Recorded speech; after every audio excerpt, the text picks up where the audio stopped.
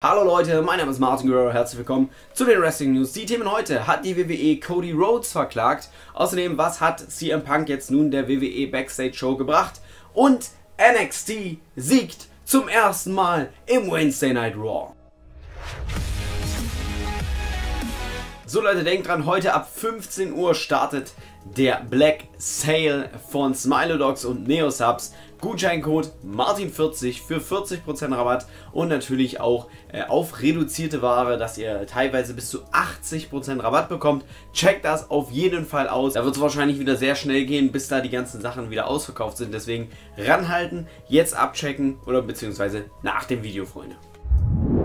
Diese Woche bei WWE Backstage hat CM Punk Rede und Antwort äh, gestanden zu vielen Sachen rund um ihn, Comeback und so weiter und so fort. Dazu ist er auch auf den Tweet von Seth Rollins eingegangen, der ihn ja zu einem Match herausgefordert hat. Daraufhin meinte CM Punk, dass Seth Rollins lieber aufhören sollte zu twittern und sich mehr um sich kümmern sollte. Daraufhin twitterte äh, Seth Rollins, dass das natürlich eine super Antwort ist und dass CM Punk nur ein Feigling ist. Später in der Episode wurde ja nochmal ein kleiner Hit gegen äh, Seth Rollins gemacht, allerdings auch hier, das ist vielleicht ein Aufbau für ein mögliches Match, aber das mögliche Match steht im Moment einfach nicht im Raum.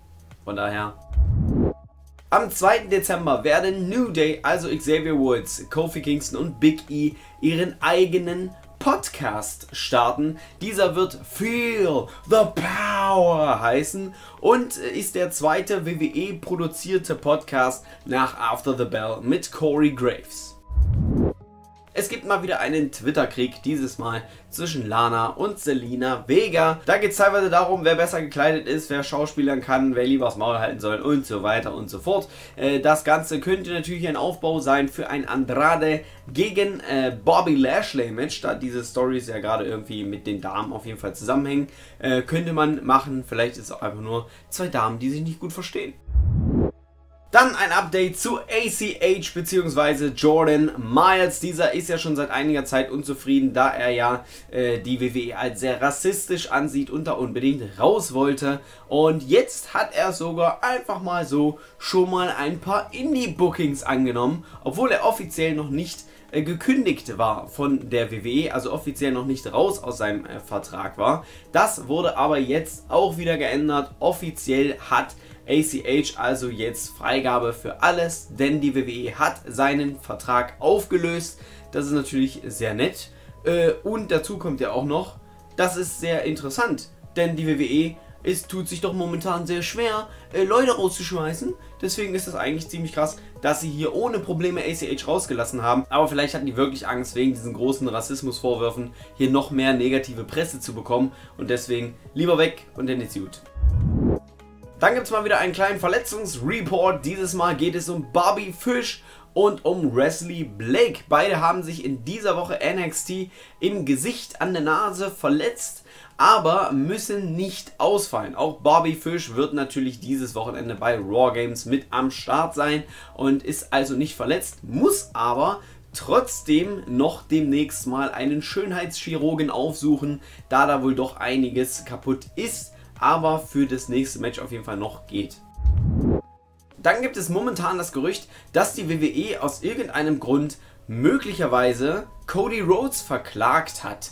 Denn dieser hat nämlich einen Tweet rausgehauen, wo er meint, dass er demnächst vor Gericht erscheinen soll und sich schon mal langsam einen neuen Anzug zulegen sollte. Allerdings wurde der Tweet wieder gelöscht und so wirklich weiß man nicht, was da jetzt genau drin ist. Ein weiterer Hinweis könnte sein, dass ja diese Woche bei All Elites Dynamite ein Schild andauernd hochgehalten wurde, wo drauf stand Suck it Vince. Und daraufhin meinte Cody Rhodes in einem Dark-Segment, dass er dazu nichts sagen darf, aber dass das Schild ja schon alles sagt. Und das ist ja eine etwas eigenartige Formulierung. Was da also genau hintersteht, weiß man leider nicht, äh, aber mal schauen, was da noch bei rumkommt.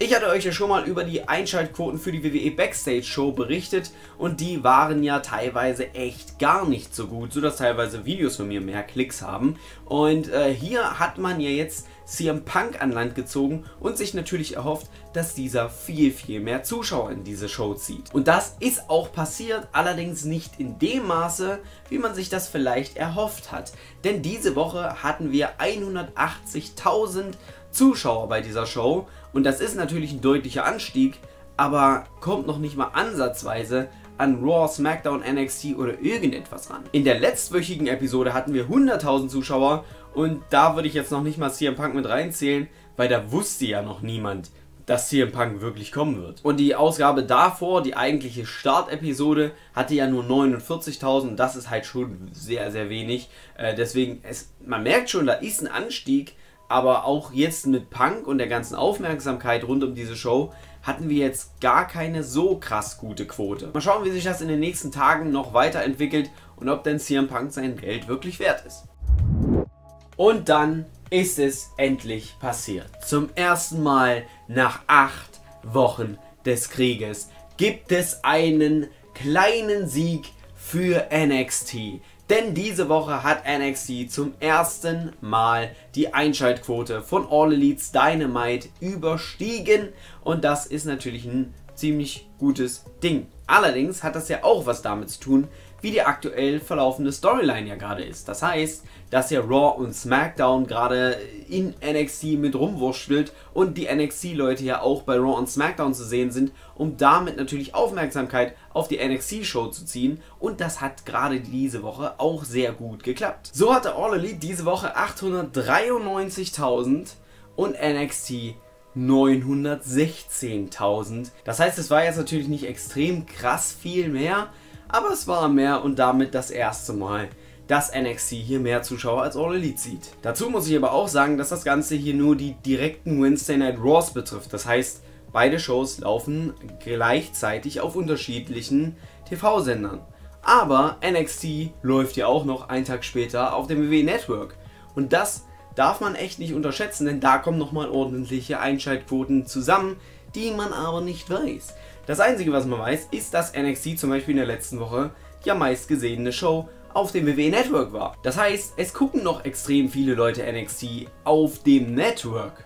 Und wenn die halt die Zahlen nicht rausballern, dann weiß man halt nie, wie es läuft. Jericho twitterte zu dieser ganzen Sache, denkt dran, es ist äh, kein Sprint, sondern ein Marathon. Also das, was die WWE quasi auch getwittert hatte, als sie das erste Mal gegen All Elite verloren haben. Ich gehe zwar auch davon aus, dass wenn jetzt die Story rund um Survivor Series und so weiter endet, dass dann auch die NXT-Einschaltquote wieder zurückgehen wird und wieder mehr Leute den All Elite einschalten. Also das wird jetzt ein kleiner Sieg gewesen sein.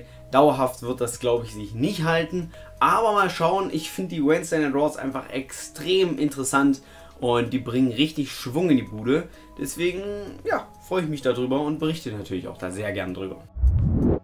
Ja Freunde, dann war es das auf jeden Fall erstmal mit dem Video für heute. Denkt dran, Daumen nach oben natürlich geben, Kanalmitgliedschaft abschließen für Deckensupport und ansonsten natürlich auch noch die Glocke aktivieren und eure Meinung gerne in die Kommentare schreiben. Und checkt auf jeden Fall Smilodogs und Neosubs aus, Links dazu in der Videobeschreibung. Vergesst meinen Gutscheincode Martin40 nicht für den fettesten Rabatt ever und deswegen gerne da vorbeischauen. Ich wünsche euch noch was, macht nicht mehr so dolle. Wir sehen uns Samstagabend im äh, NXT Livestream und Sonntag im Survivor Series Livestream und dann macht nicht mehr so dolle, wie gesagt, haut rein und einen wunderschönen Tag haben.